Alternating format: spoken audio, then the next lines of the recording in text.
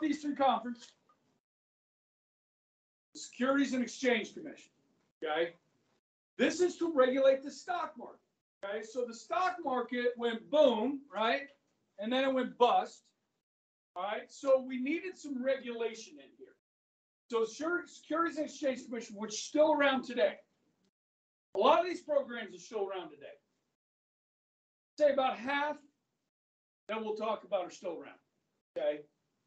They regulate the stock market and prevent abuses. Stock markets include New York Stock Exchange, the NASDAQ, Standard and Poor's, Chicago Mercantile.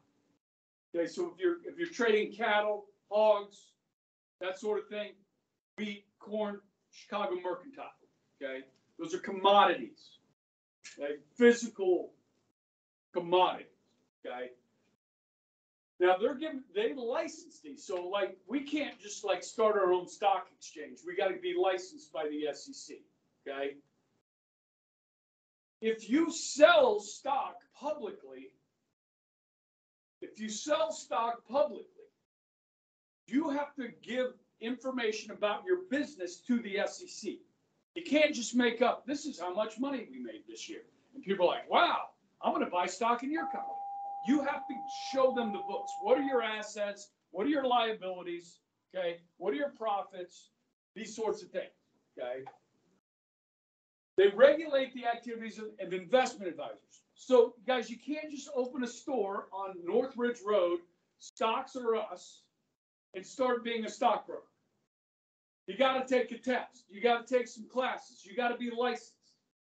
Just like a doctor or a teacher, you gotta be licensed. You wanna sell real estate, you can't sell real estate unless you're licensed. Okay? So these investment advisors have rules that they have to follow. This is why I like using like big firms like Edward Jones. Like my guy, Mark Sloan out east, there's like 30 Edward Joneses in Wichita. My guy can't just take my money and run. There's regulations he has to follow, the way he has to treat his customers. Okay? Information he has to provide, and he has to be licensed. Okay? And those that break the rules can be prosecuted by the Securities and Exchange Commission. Kind of like uh, you've probably heard of Martha Stewart. You guys know Martha Stewart? Martha Stewart? She's like the homemaker lady. She did a cooking show with Snoop Dogg. Did you guys see that? Oh, it's fabulous. I mean, you got this this old white lady, okay, who's like she does crafts and stuff and and Snoop Dogg, okay? Odd couple, okay? Odd couples make for interesting things, okay? So anyhow, um, she went to prison. She's a famous person. Why did she go to prison? Insider trading. She owned 19,000 shares of this company called ImClone. Okay. Her investment advisor got a tip from somebody that worked at ImClone. That's they were about to get some bad news. Now the public doesn't have access to that information. This person shared it, and then her advisor called Martha Stewart and said, "Hey, got a tip. This company you own stock in is about to get bad news. Do you want to sell?" She said, "Yeah, sell it." She sold 19,000 shares. Two days later, the bad news came out. Well, the SEC looks for big trades, buys and sells before good news or bad news comes out about a company. So say you worked at Boeing and you were tipped off, you found out that China Airlines was going to buy 30 737s. Tell your family about it. They buy a bunch of Boeing stock because the price is about to go up. The value is about to go up. Well, and the SEC sees you, you invested hundred thousand dollars in Boeing two days before they release this information. They're gonna open an investigation. And when they open your investigation, they're gonna track your emails and phone calls and see who you talk to. It's illegal to use that information until it's public. She got busted. She went to prison. Okay? Now, it's a white collar prison. White collar crime. Had a dude that used to coach my son's baseball team. I knew he was kind of shady. You know, he's a talker. He's a talker, right? He's an investment advisor. He stole a million dollars from his father-in-law. He got five years in a North Dakota white collar prison with no walls. You're just not allowed to leave. Now, if you leave, you're gonna go to the other prison. You understand? So that keeps the white collar people there. It's nonviolent crimes and stuff like that, financial crimes. Now, the biggest crime of all was, you guys heard Bernie Madoff?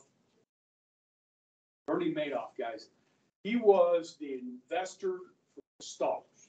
Like famous people would give him millions of dollars to invest.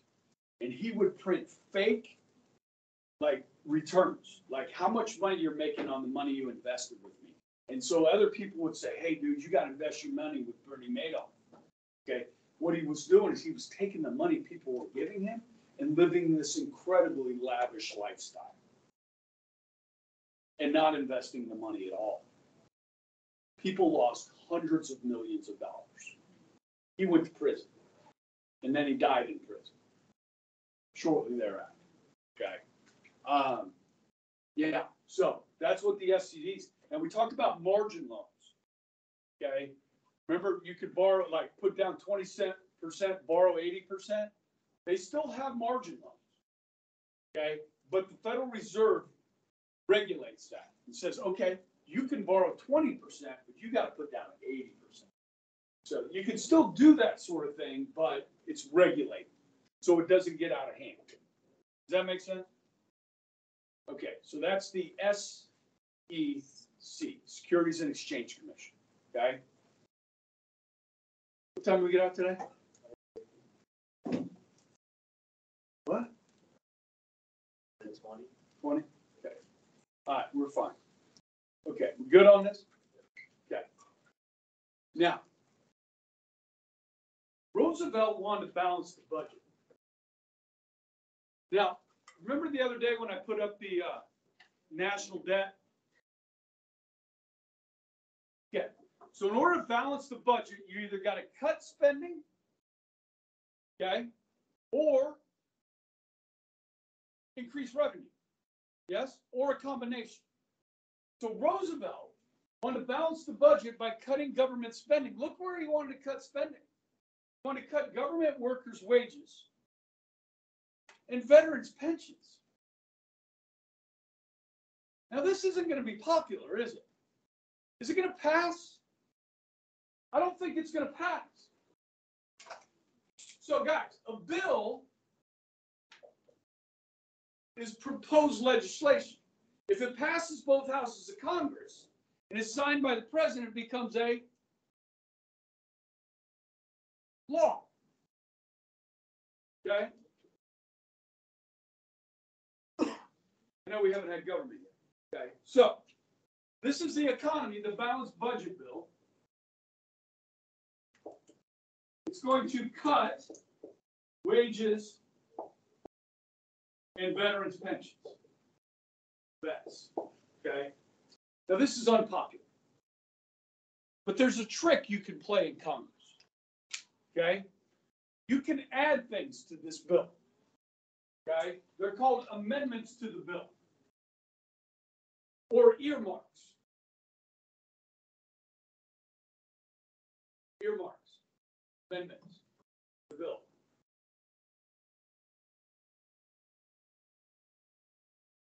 How many of you guys been to the Kansas Cosmosphere?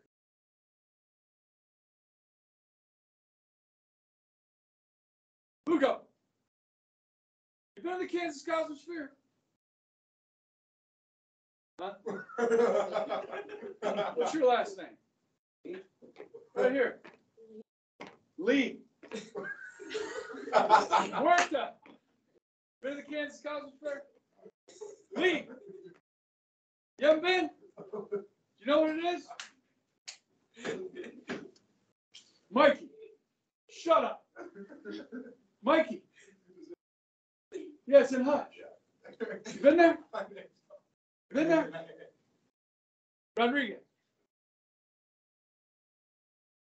Ever take field trip in middle school?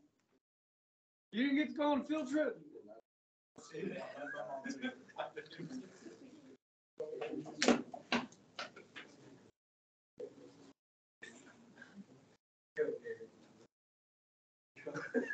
What is the Cosmosphere? It's a space museum. Why in the world did they put a space museum in Nowheresville, Kansas? I mean, wouldn't you put it in Houston where NASA is or Cape Canaveral, Florida, where they launched the rockets? Huh?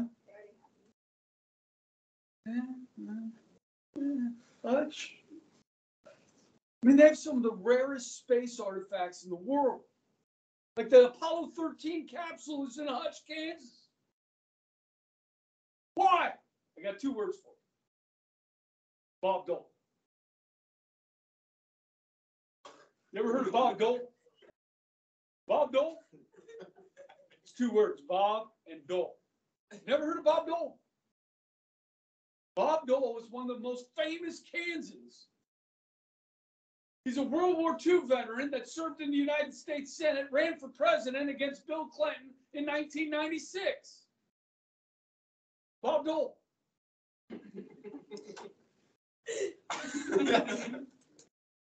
Bob Dole was the Senate Majority Leader in the 80s. There's 100 senators, right? Two from each state.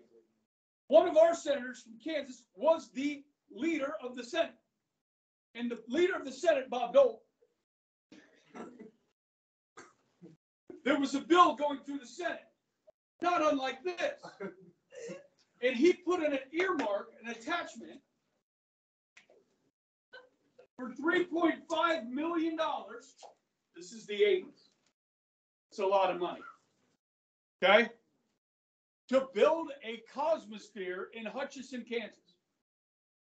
It had nothing to do with the bill. You understand? But he added it to the bill with an amendment or an earmark. Okay? That bill got passed. Now, this is what that means, is that means that the taxpayers of California, Florida, Rhode Island, Wyoming, Iowa paid for our cosmosphere in Hutchinson, Kansas. Now, if Kansas wants a cosmosphere, shouldn't Kansans pay for it? No, let's make everybody else pay for our little museum that's off the, it's not even on I seventy. Like you gotta wanna go to Hutchinson. If you're a tourist. You know what I mean? Like, I'm gonna go see the largest ball of twine in the world. Well, it's right off the freaking highway. Right?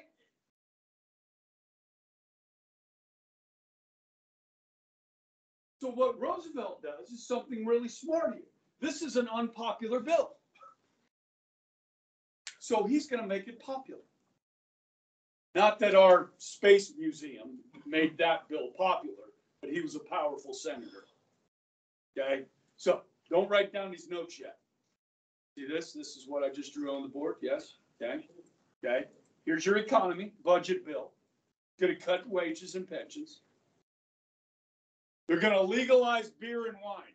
No liquor, no whiskey, no vodka, no gin, just beer and wine. They're gonna add this to the bill. Now, this is not the twenty-first amendment, guys. This is a law, right? A bill, a law. The Constitution says, under the eighteenth amendment, the manufacture, sale, consumption, and transportation of alcoholic beverages is against the law. So is this law right here constitutional? No, this is the second time in four slides that I've put something up here that was unconstitutional. Did people care? No, because they wanted their beer. And they wanted their beer now. They didn't want to wait for the 21st Amendment to be ratified by 34 states. That takes time. That process takes time. So the ballot budget bill, cut wages and pensions, passes because they added this to it. Can you explain that to me on the tape?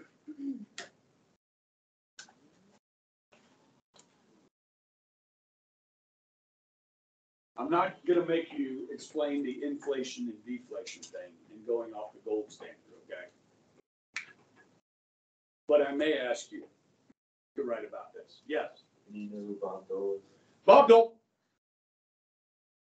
When we get to history, we'll talk a lot about Bob Dole. We're in history. Later in history, we'll talk about more Bob. When we get to World War II. Guys, he was badly wounded. World War II, yes. How so? A mortar went off next to him, basically chewed up the whole right side of his body. He was in the hospital for six months, lost the use of his right hand. What? He's like ninety-eight. He's not well, I can tell you that. He's not well, if he's still alive. I think he's still alive. I don't know. Hang on a second. Siri, is Bob Dole still alive?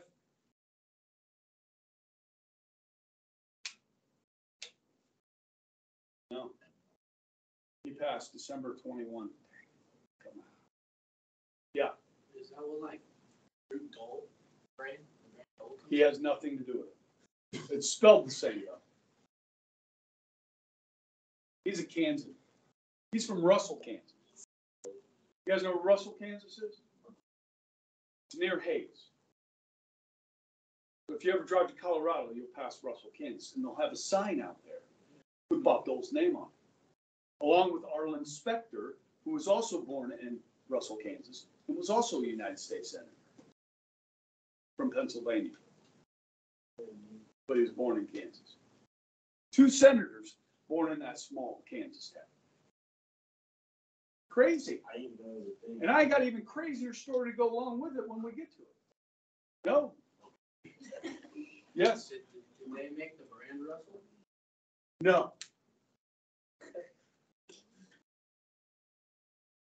But I know what you're talking about. Russell makes good uniforms. I like them. Their baseball pants are good. They last a long time. Okay. So guys, the amendment, the twenty-first amendment, which repeals the eighteenth prohibition, has to be proposed by Congress and then ratified by three quarters of the states. Hawaii and Alaska were not states yet, so that's thirty-four states. Today, we have fifty states. To ratify a constitutional amendment, you need thirty-eight states. Guys, we have twenty-seven amendments to the Constitution. First ten are the Bill of Rights. They were all ratified in seventeen ninety-one. So over two hundred and thirty years, we've only had seventeen constitutional amendments, okay, that have been ratified. So now you know the eighteenth, the nineteenth, the twentieth, and the twenty-first. You know four. You're welcome. Okay? So. This is not the twenty-first amendment. Right? It's an earmark. It's an amendment to the bill. If I'm going to amend the test, means I'm going to change the test. Constitutional amendment changes the Constitution. The law of the land. Okay? Good? Yeah, how much time I got? Five minutes? Okay. Uh, let's go to the next one shortly.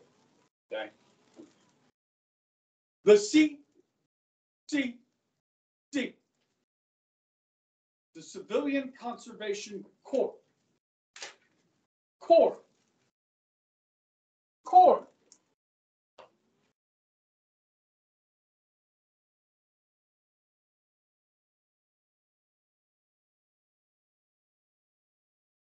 Like Marine Corps. Peace Corps. The Army Corps of Engineers. P and the S are silent. Okay? On the test, If you write CO period, it's wrong. You write CORP period, it's wrong. You gotta write core, the way it's supposed to be spelled. Which means, what kind of question is that gonna be on the test? It could be a long answer, or it could be a fill in the blank. Yes, ma'am. Core is like, uh, it's like a group. It's like a regiment, a group, like a platoon or a group of people. Okay? This group of people, I I'm not gonna get into this too much, okay? This group of people is gonna be young men between the ages of 18 and 25. Guys, unemployment during the Depression for 18 to 25 year old men was extremely high. So you got a bunch of poor 18 to 25 year olds with nothing to do. That's not a good recipe. So we're going to get them off the streets. We're going to send them out into the wilderness. And when I say wilderness, I'm talking Wyoming, Montana wilderness. Okay? And they're going to help build fire lanes, buildings, trails in our national parks. Have any of you guys been to any of our national parks? All right, talk to me. Mm-hmm. Yellowstone's awesome. How old were you?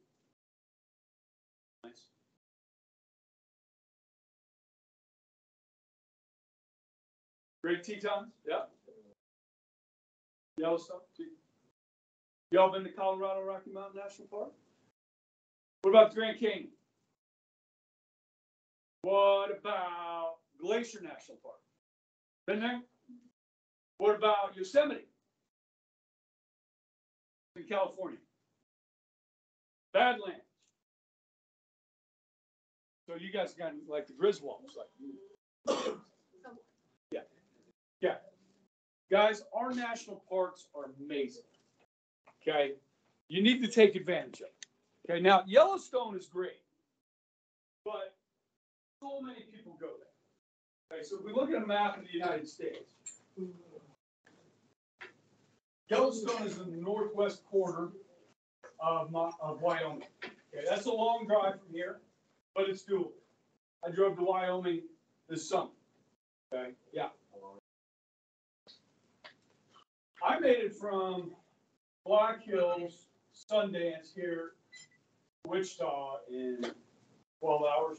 So to to Yellowstone, it's another probably five. So it's about seventeen hours. But it's, guys, this is a beautiful state. Guys, just driving through Wyoming is amazing. Okay, now Montana, they call Big Sky. Big Sky.